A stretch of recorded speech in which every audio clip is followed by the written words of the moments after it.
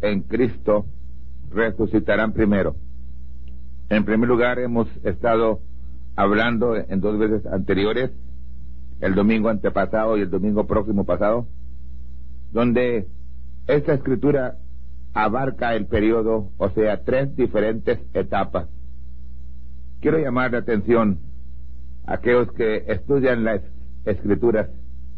Dice, porque el mismo Señor, con aclamación, coma, con voz de arcángel, coma, y con trompeta de Dios, descenderá del cielo.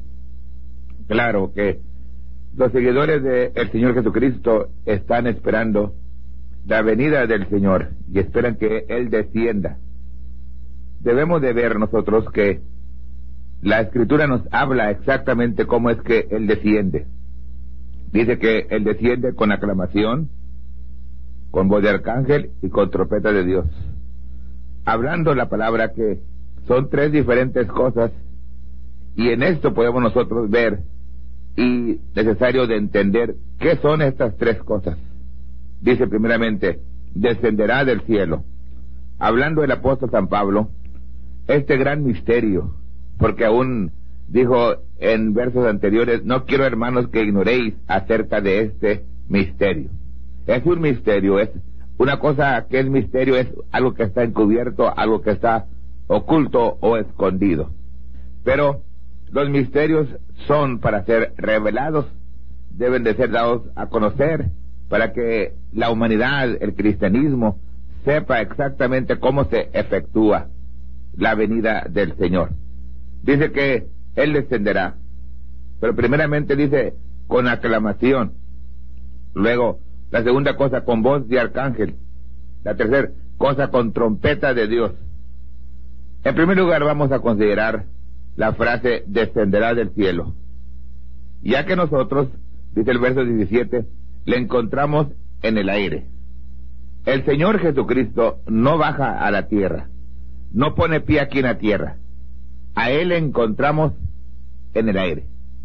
Recuerde una cosa, que todo lo que se enseña debe de ser escritural.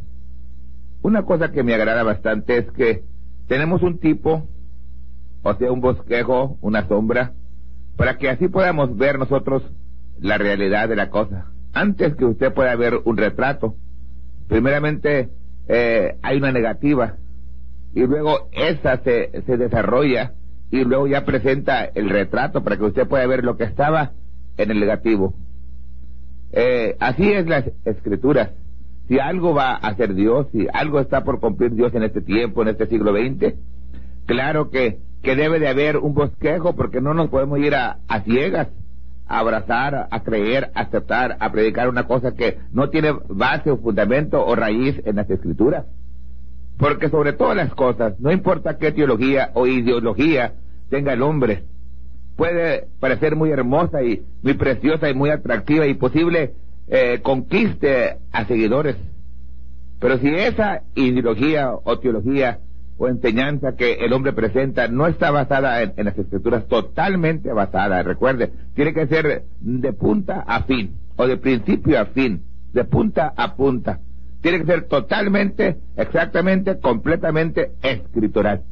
Y si no, recuerde que tendrá una falla y esa falla lo va a hacer fracasar al hombre. De manera que necesitamos de irnos a lo que ya Dios estableció. Porque Dios puso ejemplos, puso tipos, y nosotros debemos de, irnos exactamente como está la sombra o el tipo. Y para poder entender cómo es que el, Señor descenderá, es necesario irnos eh, al Viejo Testamento y ver cómo es que Dios ha descendido en otras ocasiones. Por ejemplo, hemos hablado del gran éxodo que aconteció en el tiempo cuando Israel estaba en esclavitud en Egipto. Aún tienen una preciosa, tremenda película, la cual se llama El Éxodo, el Gran Éxodo. Éxodo significa salida, partida, saliendo. Y cuando hubo un éxodo, eh, de la manera que Dios efectuó ese éxodo, es muy precioso comprender y entender para que así podamos nosotros saber qué clase de éxodo y cómo es que Dios va a llevar a cabo el éxodo presente. Porque hoy presentemente se está llevando a cabo un éxodo y tiene que ser de la manera correcta, bíblicamente, para que nosotros seamos partícipes del éxodo correcto escritural. Encontramos que el Señor llamó a Abraham, ya sabemos que Dios lo, llamó, le prometió eh, que iba a bendecir a su simiente. Y aunque le prometió bendecir a su simiente, le, le advirtió que su simiente iba a ser extranjera y peregrina en tierra ajena. ¿Cómo es que iba a ser oprimida por los extractores? Miramos nosotros cómo es que eh, se vendió a José y, y luego vino un hambre sobre toda la tierra y por fin llegó Jacob, sus hijos, a residir o a radicar en Egipto. Cuando entraron ellos a Egipto fueron recibidos con los brazos abiertos porque José era un profeta, era un hombre de Dios, usado por Dios, el cual le había prevenido eh, a el rey faraón la gran hambre que venía sobre la tierra. ¿Y cómo es que por la sabiduría de Dios a través de José, cómo es que se almacenó suficiente alimento para que Egipto llegase a ser el centro del alimento mundialmente. En todo el mundo había escasez de pan, excepto en Egipto. Y la causa que había abundancia de pan en Egipto es porque Dios tenía ahí a un hombre llamado José, el cual Dios lo había llamado como profeta. Y este hombre le advirtió a Faraón cómo es que iban a venir siete años de hartura y luego iban a venir siete años de escasez de hambre y cómo es que iban a olvidar los años de, de hartura porque cuando el hombre tiene hambre olvida los, los tiempos buenos. Pero le dijo José almacena la comida y luego cuando eh, ya la gente no tenga comida en los siete años de hambre les, puede vender. Y, y Faraón miró que estaba correcto y puso a José como el jefe del gobernador. Bueno, y por esa causa es que cuando entró Israel y sus hijos, su familia, fueron recibidos con brazos abiertos de parte de los egipcios. Pero llegó el tiempo en que murió José. Y luego, realmente llegó el tiempo en el cual se levantó un faraón que ya no conocía a José. O, sea, se olvidaron de los bienes que ellos habían recibido por medio de José y los israelitas y miraron que el pueblo de Israel se iba multiplicando, iba creciendo, estaba poderoso y tremendo y muy industriosos y llenos de la gracia de Dios. Entró la envidia y por esta envidia los hicieron esclavos hasta que llegó el tiempo en que el clamor del pueblo de, Israel, del pueblo de Dios, llegó hasta, hasta los oídos de Dios. Y el, el trato mal que le daban a los israelitas llegó hasta los ojos de Dios. Miramos que en este tiempo ya había pasado el tiempo en que eh, el mismo Moisés, habiendo nacido en Egipto, recuerde, cuando, cuando Moisés nació, ya eran esclavos, ya estaban bajo la aflicción, eran el tiempo más duro de, de, la era eh, del pueblo hebreo. Y él tuvo que huir porque sus hermanos no comprendieron que él era el hombre indicado para libertarlos. Claro, que tuvieron que rechazar a Moisés. Y el mismo pueblo de Israel rechazó a Moisés y Moisés tuvo que huir. Llegó al desierto. Caminó. Pensaron posible que su vida terminaría, pero la mano protectora de Dios estaba protegiendo a este vaso. Porque Dios lo había escogido. Era, era un varón apropiado. Era un varón precioso, hermoso. Era un, un varón que había nacido dotado de las características para poder ser el vaso o el instrumento que Dios iba a usar para la liberación del pueblo de Israel. Y es posible pensaron que iba a morir, pero Moisés salió. Cuarenta años estuvo aparte o lejos de sus hermanos, los hebreos. Allá estuvo y por fin se casó, se casó con una mujer llamada Séfora, tuvo hijos, y el suegro de Moisés fue Jetro. Pero un día, aproximadamente a los 40 años después de haber salido de Egipto, miró hacia la montaña y, vio, ustedes saben bien que, que lo que se llama la nube de, el, la nube o la columna de fuego es la misma cosa. Columna de nube o columna de fuego. De día es una nube para proteger al pueblo de Dios y de, y de noche era una columna de fuego para alumbrar o alusar o dar luz al pueblo de Dios. Pero en esta ocasión, a pleno día, se aparece la columna de fuego para hacerse visible y ardía esta zarza, mas no la consumía y Moisés se acercó para ver qué era esta gran visión. Cuando se acercó, oyó la voz de Dios. Y le digo, quita las sandalias de tus pies porque el lugar que tú pisas es tierra santa. Ahí estaba el hombre temeroso, tenía miedo de, de levantar su rostro, de ver a Dios. Pero realmente Dios mismo había descendido. Y fíjese usted, lo encontramos, encontramos en en la escritura que Dios empieza a hablarle y le dice, he visto la aflicción y he oído su clamor. En otras palabras, a veces la gente que es cristiana está oprimida por todos rumbos, afligida, y cree que Dios no ve, que Dios, que Dios está sordo. Pero Dios envía el socorro al tiempo apropiado. Y recuerda una cosa, que yo sé que el cristianismo está oprimido presentemente, casi asfixiado, como que va a terminar su carrera cristiana. Pero recuerda una cosa, que Dios tiene sus ojos puestos en nosotros, tiene su oído atento al clamor de sus hijos. Y al tiempo apropiado habrá de nuevo un éxodo de este mundo perverso, contaminado y terrible. Y nos iremos a encontrar al Señor en el aire. Pero todo tiene un proceso y una manera correcta de hacerse. Le dice Dios a Moisés, he visto la aflicción y he oído su clamor.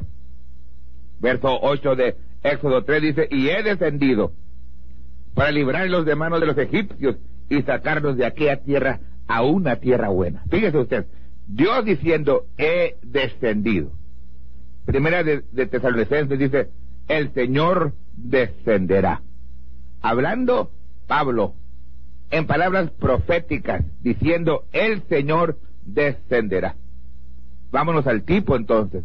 Aquí dice Dios a Moisés, he descendido para librarlos de manos de los egipcios y sacarlos de aquella tierra a una tierra buena. En otras palabras, Dios le está diciendo a Moisés, yo he bajado, yo he descendido, yo he venido para librar a mi pueblo, para sacarlos de aquella tierra y llevarlos a una tierra buena. Yo, Jehová, nadie más. Yo, yo, Jehová, y fuera de mí no hay quien salve. Yo, Jehová, he descendido. Yo, Jehová, los voy a librar. Yo, Jehová, los voy a sacar. Pueden decir también a la palabra de Dios. Ahora fíjate, el verso 10.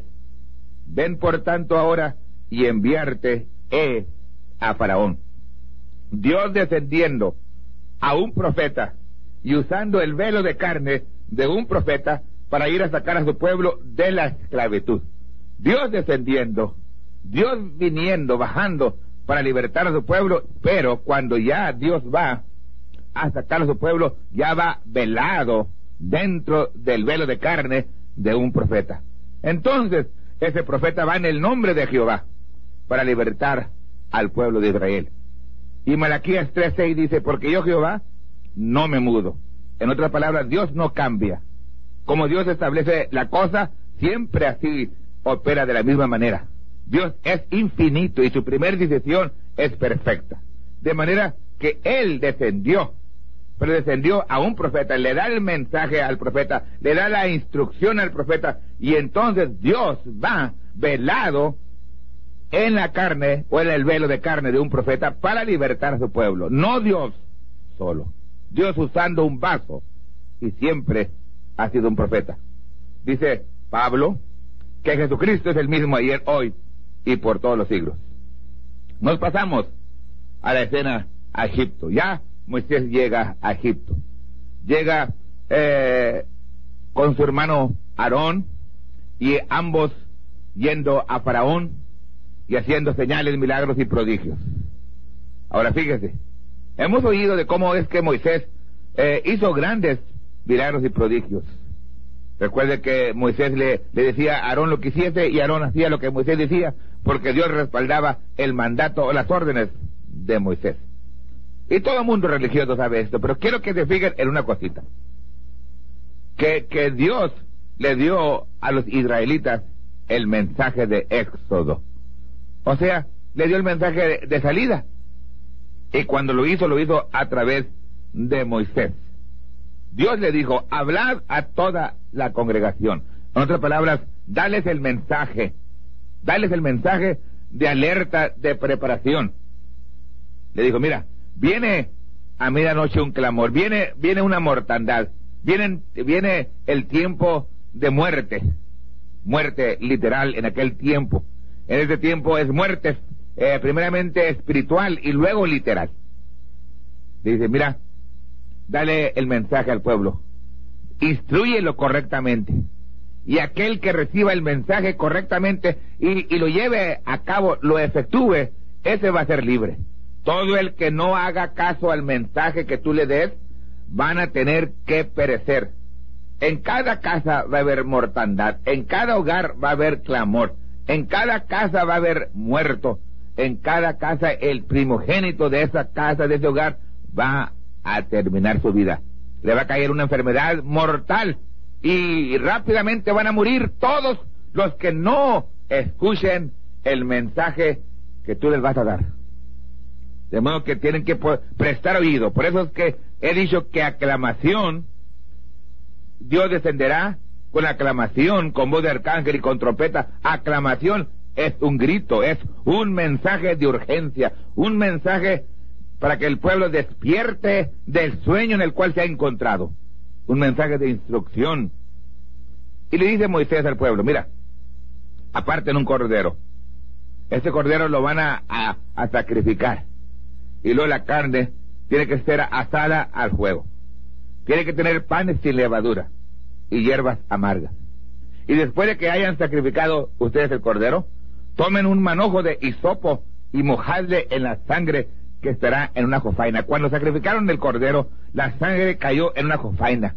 Y ahí estaba guardada la sangre. Entonces se tomó el manojo de hisopo y se mojó en la sangre para poder untar el dintel y los dos postes, o sea, lo que nosotros eh, acá en Arizona le llamamos, le llamamos el, el marco de, de, una puerta. Usted sabe, tiene la parte de arriba y las partes del lado. Ese es el, el dintel y los dos postes. Y ahí se aplicó la sangre para que cuando la persona entrase dentro de esa casa, entraba por debajo del dintel y a, ambos lados un poste que estaban eh, untados con sangre, identificándolos a ellos con el sacrificio que, ellos habían sacrificado a, cabo de la instrucción que el profeta Moisés les había dado. Recuerden, tenían que hacer exactamente como Moisés le dijo. Y aconteció que a la medianoche Jehová hirió a todo primogénito en la tierra de Egipto, desde el primogénito de Faraón que se, que se sentaba sobre su trono hasta el primogénito del cautivo que estaba en la cárcel. Y había un gran clamor en Egipto, porque no había casa donde no hubiese muerto, excepto donde la sangre había sido aplicada. Ni un muerto, porque estaban protegidos, porque eh, cuando bajó la ira de Dios, la sangre ya había sido aplicada, conforme el mensaje que Dios le había dado a Moisés. Miramos que salieron de Egipto. Aquellos que habían untado la sangre, aquellos que habían oído, aceptado y creído y aplicado el mensaje que Moisés les había dado. Salieron de Egipto. Pero rápidamente se encontraron ante el Mar Rojo y el pueblo, o sea, el ejército egipcio detrás de ellos para exterminarlos. Pero Jehová paró en seco el Mar Rojo. Jehová dijo a Moisés, ¿por qué clamas a mí? Alza tu vara y extiende tu mano sobre la mar y divídela tú alza tu vara. Y cuando él levantó o alzó su vara, entonces la nariz de Dios, dice la Biblia, que con el soplo de tus narices se amontonaron las aguas, paráronse las corrientes, los abismos se cuajaron en medio de la mar. Dios paró la mar, pero usó a un profeta cuando alzó la mano y extendió su vara. Si para sacar a su pueblo, Dios usó un profeta de una tierra natural a una tierra natural. Hoy Dios tiene un éxodo de este mundo, de esta tierra, a la tierra de nuestros ensueños. Pero primeramente, antes de salir de aquí, tiene que haber un mensaje de preparación, para que pueda haber un éxodo del pueblo, porque viene destrucción y clamor en toda la tierra, porque la Biblia dice en Apocalipsis 12:12, 12, hay de los moradores de la tierra y del mar, porque habrá un clamor por toda la tierra y por todo el mar. ¿Cuándo será esto? Dice la Biblia que es cuando los santos han vencido al diablo. ¿Y cómo podemos vencer al diablo si no tenemos las instrucciones y no tenemos la preparación dentro de nosotros? Y si no viene el mensaje para instruirnos, tiene que ser a través de Dios descendiendo al nivel de un profeta, dándole la instrucción al profeta y el profeta instruyendo a su pueblo